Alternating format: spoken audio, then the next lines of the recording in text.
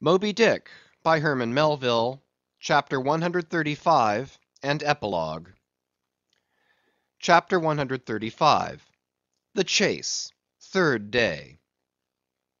The morning of the third day dawned fair and fresh, and once more the solitary night man of the foremast head was relieved by crowds of the daylight look outs, who dotted every mast and almost every spar. "D'ye see him?" cried Ahab; but the whale was not yet in sight. "In his infallible wake, though; but follow that wake, that's all. Helm there! steady as thou goest, and hast been going. What a lovely day again! Were it a new made world, and made for a summer house to the angels, and this morning the first of its throwing open to them, a fairer day could not dawn upon that world. Here's food for thought, had Ahab time to think. But Ahab never thinks; he only feels, feels, feels; that's tingling enough for mortal man. To think's audacity. God only has that right and privilege. Thinking is, or ought to be, a coolness and a calmness; and our poor hearts throb, and our poor brains beat too much for that. And yet I've sometimes thought my brain was very calm; frozen calm; this old skull cracks so, like a glass in which the contents turn to ice, and shiver it. And still this hair is growing now; this moment growing; and heat must breed it. But no; it's like that sort of common grass that will grow anywhere, between the earthly clefts of Greenland ice, or in Vesuvius's lava.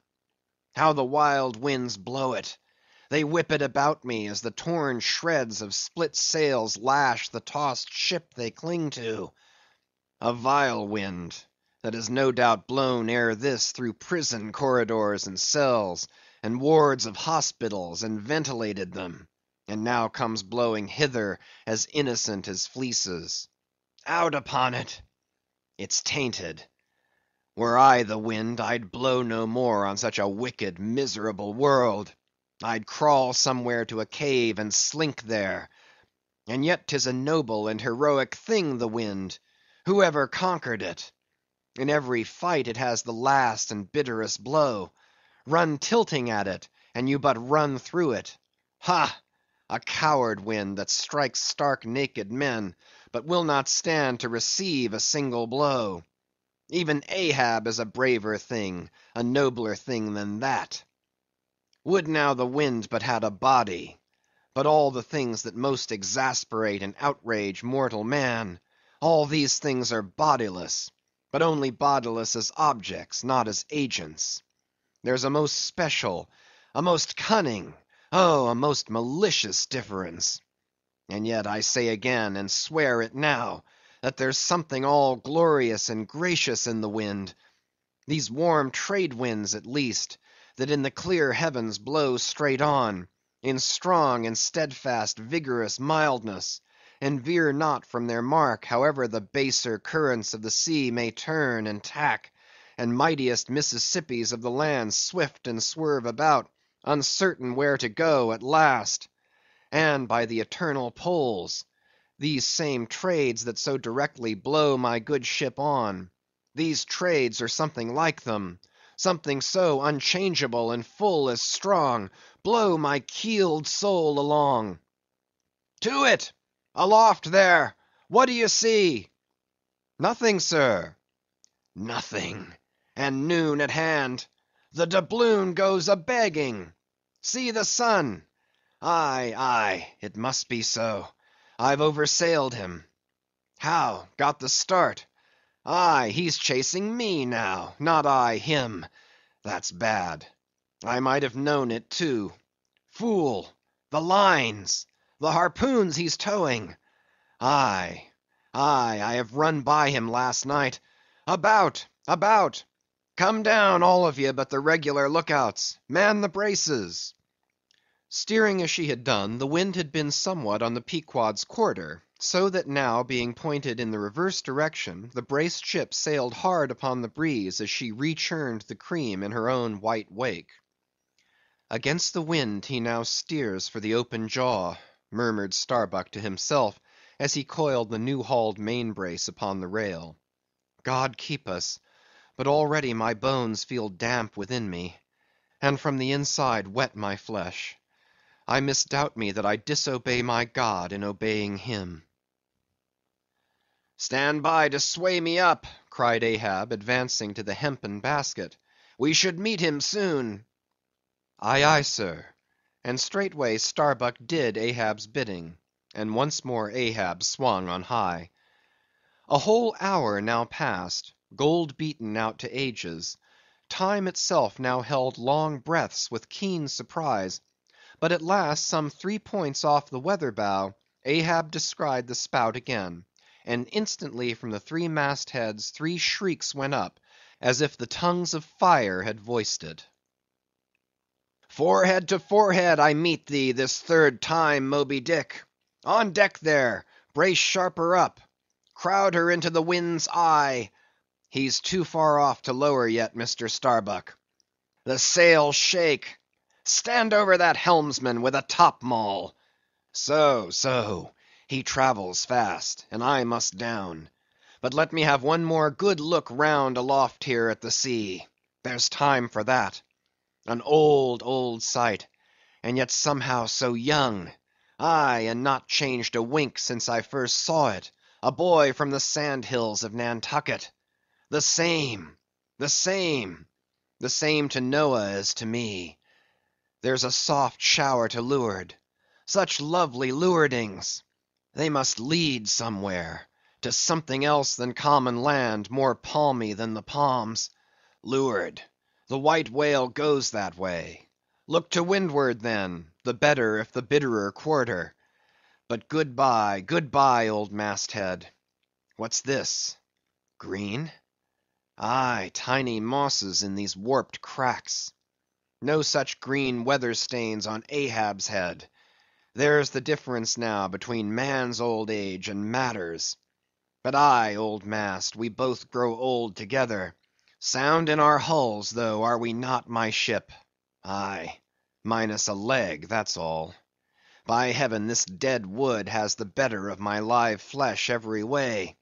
I can't compare with it; and I've known some ships made of dead trees outlast the lives of men made of the most vital stuff of vital fathers. What's that he said? He should still go before me, my pilot, and yet to be seen again? But where? Will I have eyes at the bottom of the sea, supposing I descend those endless stairs? And all night I've been sailing from him, wherever he did sink to. Aye, aye.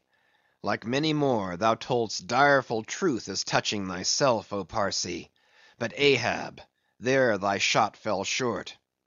Good bye. Keep a good eye upon the whale while I'm gone.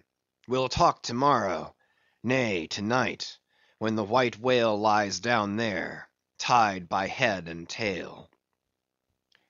He gave the word, and still gazing round him, was steadily lowered through the cloven blue air to the deck. In due time the boats were lowered; but as, standing in his shallop's stern, Ahab just hovered upon the point of the descent, he waved to the mate, who held one of the tackle ropes on deck, and bade him pause. "Starbuck!" "Sir?" "For the third time my soul's ship starts upon this voyage, Starbuck." "Aye, sir; thou wilt have it so." "Some ships sail from their ports, and ever afterwards are missing, Starbuck." "Truth, sir; saddest truth." "Some men die at ebb tide some at low water, some at the full of the flood. And I feel now like a billow that's all one crested comb, Starbuck. I am old. Shake hands with me, man." Their hands met, their eyes fastened, and Starbuck's tears the glue. "Oh, my captain, my captain! Noble heart, go not, go not! See, it's a brave man that weeps; how great the agony of the persuasion, then!" "Lower away!" cried Ahab, tossing the mate's arm from him. "Stand by the crew!" In an instant the boat was pulling round close under the stern. "The sharks! the sharks!" cried a voice from the low cabin window there. "Oh, master, my master, come back!" But Ahab heard nothing, for his own voice was high lifted then, and the boat leaped on. Yet the voice spake true; for scarce had he pushed from the ship, when numbers of sharks, seemingly rising from out the dark waters beneath the hull, maliciously snapped at the blades of the oars every time they dipped in the water, and in this way accompanied the boat with their bites. It is a thing not uncommonly happening to the whale boats in those swarming seas, the sharks at times apparently following them in the same prescient way that vultures hover over the banners of marching regiments in the East. But these were the first sharks that had been observed by the Pequod since the White Whale had first been descried; and whether it was that Ahab's crew were all such tiger yellow barbarians, and therefore their flesh more musky to the senses of the sharks, a matter sometimes well known to affect them; however it was, they seemed to follow that one boat without molesting the others. "Heart of wrought steel," murmured Starbuck, gazing over the side, and following with his eye the receding boat. "Canst thou yet ring boldly to that sight? Lowering thy keel among ravening sharks, and followed by them, open mouthed to the chase; and this the critical third day? For when three days flow together in one continuous intense pursuit, be sure the first is the morning, the second the noon, and the third the evening and the end of that thing, be that end what it may. Oh, my God! what is this that shoots through me, and leaves me so deadly calm, yet expectant; fixed at the top of a shudder? Future things swim before me, as in empty outlines and skeletons; all the past is somehow grown dim. Mary, girl, thou fadest in pale glories behind me. Boy, I seem to see but thy eyes grown wondrous blue. Strangest problems of life seem clearing but clouds sweep between. Is my journey's end coming? My legs feel faint, like his who has footed it all day. Feel thy heart; beats it yet? Stir thyself, Starbuck; stave it off; move, move; speak aloud. Mast head there! see ye my boy's hand on the hill? Crazed. Aloft there! Keep thy keenest eye on the boats; mark well the whale. Ho! again; drive off that hawk! See, he pecks, he tears the vein!" pointing to the red flag flying at the main truck. "Ha! he soars away with it! Where's the old man now? Seest thou that sight, oh Ahab? Shudder! shudder!" The boats had not gone very far, when by a signal from the mast heads, a downward pointed arm, Ahab knew that the whale had sounded; but intending to be near him at the next rising, he held on his way a little sideways from the vessel; the becharmed crew maintaining the profoundest silence as the head beat waves hammered and hammered against the opposing bow. "Drive, drive in your nails, oh ye waves! to their uttermost heads drive them in! Ye but strike a thing without a lid, and no coffin and no hearse can be mine; and hemp only can kill me. Ha! ha!" Suddenly the waters around them slowly swelled in broad circles, then quickly upheaved, as if sideways sliding from a submerged berg of ice swiftly rising to the surface. A low rumbling sound was heard, a subterraneous hum, and then all held their breaths, as bedraggled with trailing ropes, and harpoons, and lances, a vast form shot lengthwise but obliquely from the sea. Shrouded in a thin drooping veil of mist, it hovered for a moment in the rainbowed air, and then fell swamping back into the deep.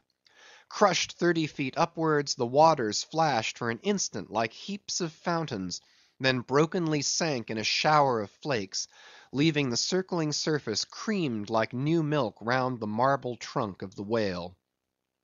"Give way!" cried Ahab to the oarsmen, and the boats darted forward to the attack. But maddened by yesterday's fresh irons that corroded in him, Moby Dick seemed combinedly possessed by all the angels that fell from heaven. the wide tiers of welded tendons overspreading his broad white forehead, beneath the transparent skin, looked knitted together, as head on he came churning his tail among the boats, and once more flailed them apart, spilling out the irons and lances from the two mates' boats, and dashing in one side of the upper part of their bows, but leaving Ahab's almost without a scar. While Daggoo and Queequeg were stopping the strained planks, and as the whale swimming out from them, turned and showed one entire flank as he shot by them again; at that moment a quick cry went up.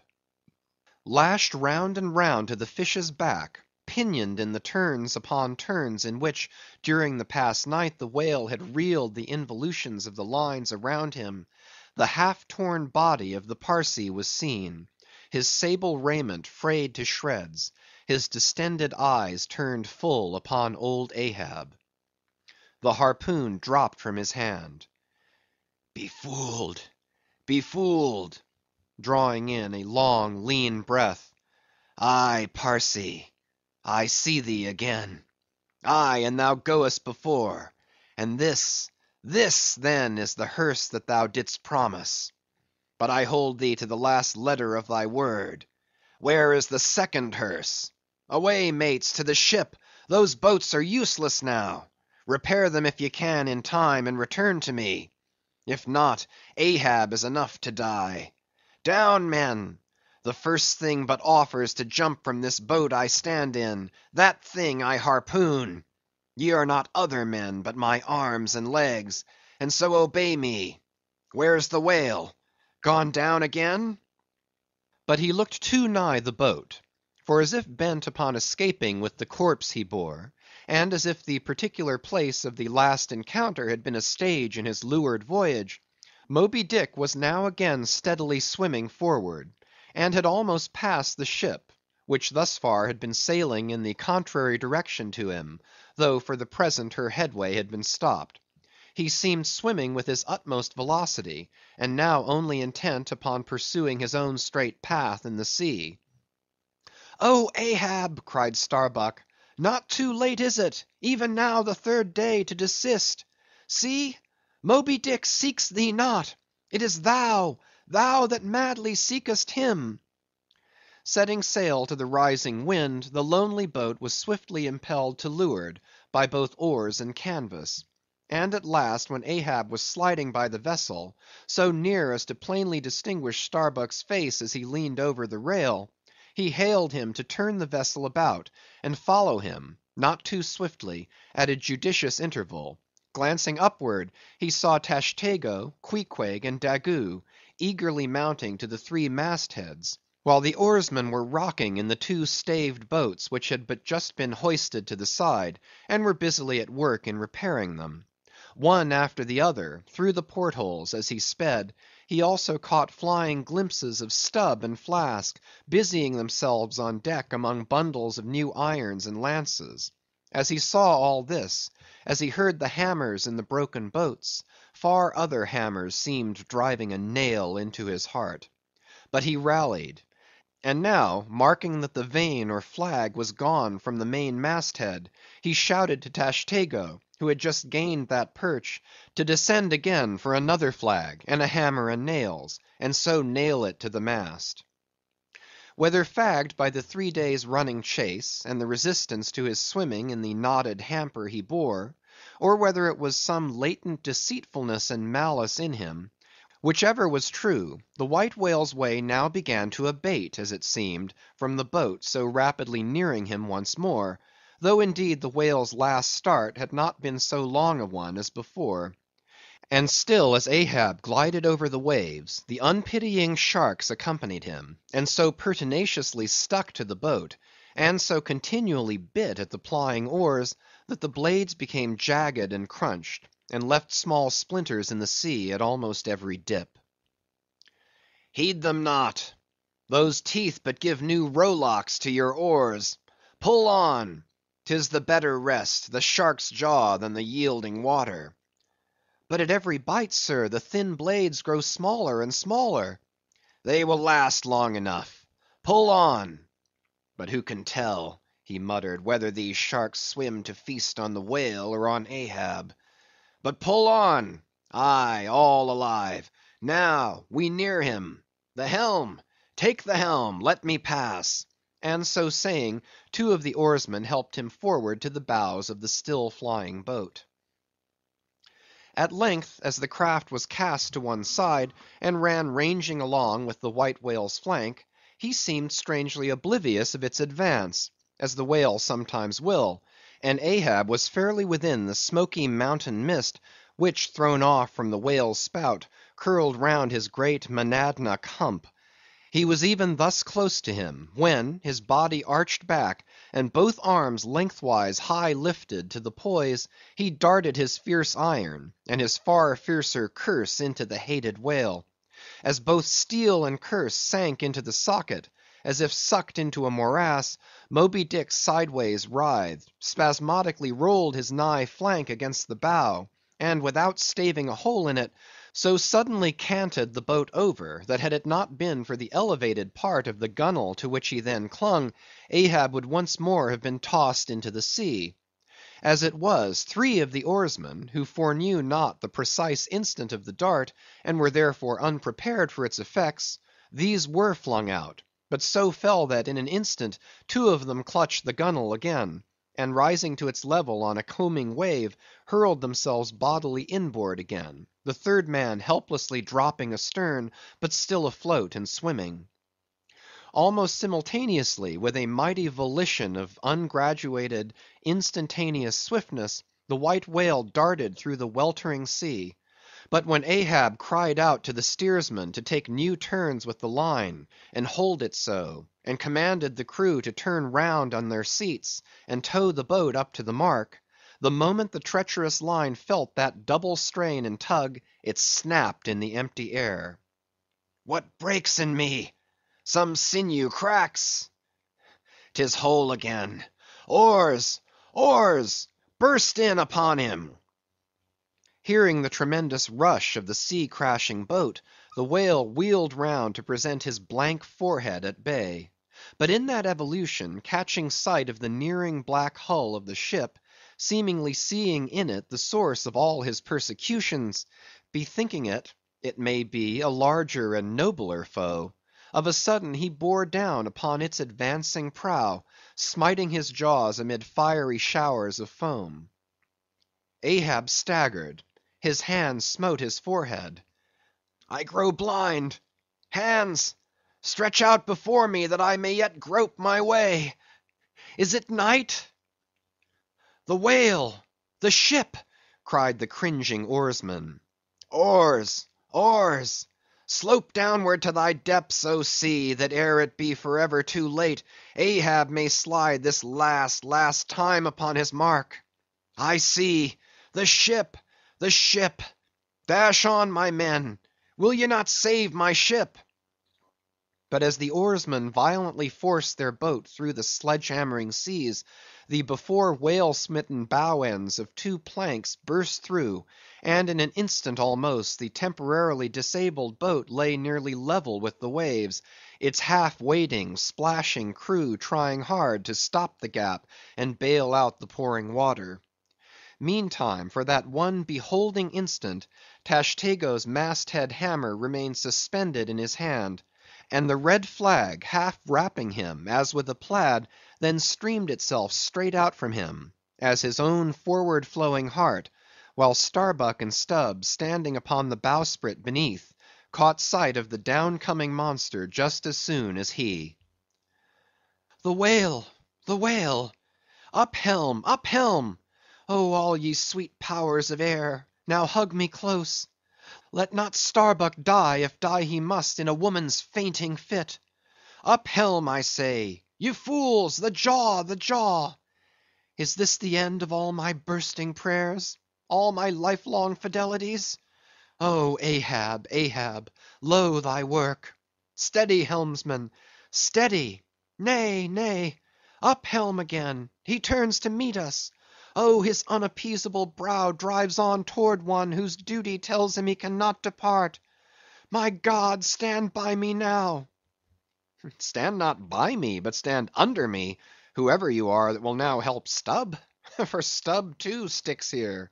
I grin at thee, thou grinning whale! Who ever helped Stubb or kept Stubb awake but Stubb's own unwinking eye? And now poor Stubb goes to bed upon a mattress that is all too soft. Would it were stuffed with brushwood! I grin at thee, thou grinning whale! Look ye, sun, moon, and stars! I call ye assassins of as good a fellow as ever spouted up his ghost. For all that, I would yet ring glasses with ye, would ye but hand the cup. Oh, oh, oh, oh! Thou grinning whale! but there'll be plenty of gulping soon. Why fly ye not, O Ahab?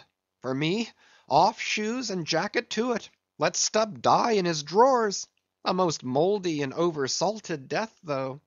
Cherries, cherries, cherries! Oh, Flask, for one red cherry ere we die! Cherries! I only wish that we were where they grow. Oh, Stubb, I hope my poor mother's drawn my part pay ere this; if not, few coppers will now come to her, for the voyage is up.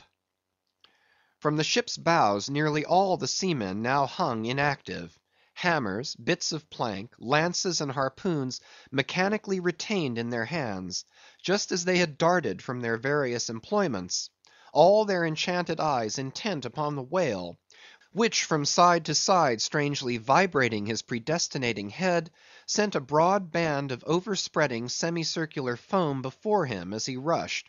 Retribution, swift vengeance, eternal malice were in his whole aspect; and spite of all that mortal man could do, the solid white buttress of his forehead smote the ship's starboard bow, till men and timbers reeled; some fell flat upon their faces.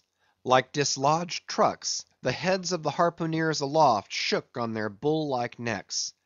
Through the breach they heard the waters pour, as mountain torrents down a flume.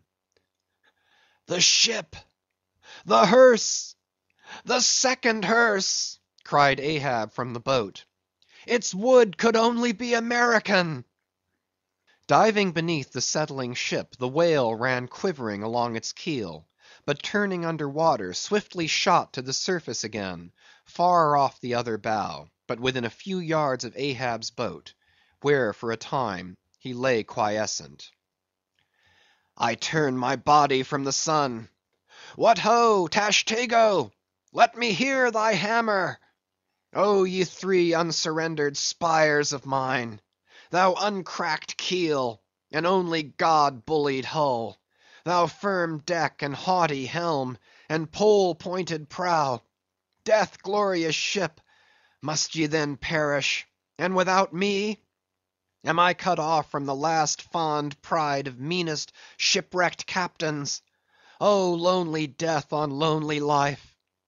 Oh, now I feel my topmost greatness lies in my topmost grief! Ho, ho! From all ye furthest bounds, pour ye now in, ye bold billows of my whole foregone life, and top this one piled comber of my death. Towards thee I roll, thou all destroying but unconquering whale!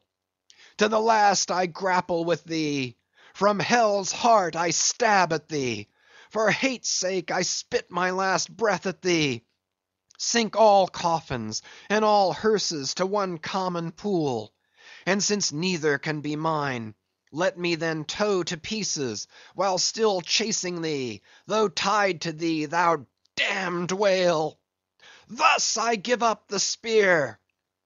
The harpoon was darted; the stricken whale flew forward; with igniting velocity the line ran through the grooves, ran foul. Ahab stooped to clear it. He did clear it; but the flying turn caught him round the neck, and voicelessly as Turkish mutes bowstring their victim, he was shot out of the boat, ere the crew knew he was gone. Next instant, the heavy eye splice in the rope's final end flew out of the stark, empty tub, knocked down an oarsman, and smiting the sea, disappeared in its depths. For an instant the tranced boat's crew stood still then turned. The ship! Great God, where is the ship? Soon they through dim, bewildering mediums saw her sidelong fading phantom, as in the gaseous Fata Morgana, only the uppermost mass out of the water; while fixed by infatuation, or fidelity, or fate, to their once lofty perches, the pagan harpooneers still maintained their sinking look outs on the sea. And now concentric circles seized the lone boat itself, and all the crew, and each floating oar, and every lance pole; and spinning, animate and inanimate, all round and round in one vortex, carried the smallest chip of the Pequod out of sight. But as the last whelmings intermixingly poured themselves over the sunken head of the Indian at the mainmast, leaving a few inches of the erect spar yet visible, together with long streaming yards of the flag, which calmly undulated, with ironical coincidings, over the destroying billows they almost touched. At that instant, a red arm and a hammer hovered backwardly uplifted in the open air, in the act of nailing the flag faster and yet faster to the subsiding spar. A sky hawk that tauntingly had followed the main truck downwards from its natural home among the stars, pecking at the flag, and incommoding Tashtego there; this bird now chanced to intercept its broad fluttering wing between the hammer and the wood; and simultaneously feeling that ethereal thrill, the submerged savage beneath, in his death grasp, kept his hammer frozen there; and so the bird of heaven, with archangelic shrieks, and his imperial beak thrust upward, and his whole captive form folded in the flag of Ahab, went down with his ship which, like Satan, would not sink to hell till she had dragged a living part of heaven along with her, and helmeted herself with it. Now small fowls flew screaming over the yet yawning gulf; a sullen white surf beat against its steep sides; then all collapsed, and the great shroud of the sea rolled on, as it rolled five thousand years ago. EPILOGUE And I only am escaped alone to tell thee. Job. The drama's done. Why then here does any one step forth? Because one did survive the wreck. It so chanced that after the Parsee's disappearance, I was he whom the Fates ordained to take the place of Ahab's bowsman, when that bowsman assumed the vacant post the same who, when on the last day the three men were tossed from out of the rocking boat, was dropped astern.